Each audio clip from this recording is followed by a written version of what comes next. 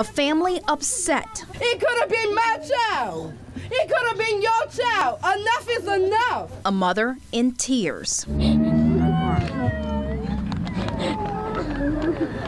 My baby.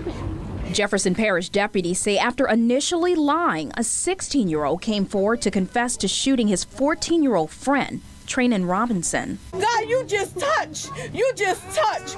It happened Thursday evening in the 4000 block of Woodvine Drive in Harvey. The teens were in an upstairs bedroom, and deputies say the 16 year old told them he asked the victim if he could hold the handgun. Investigators say that's when the teen says the gun accidentally went off, hitting Robinson once in the stomach.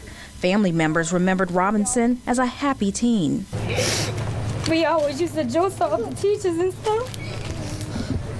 He kept a smile on his face. No.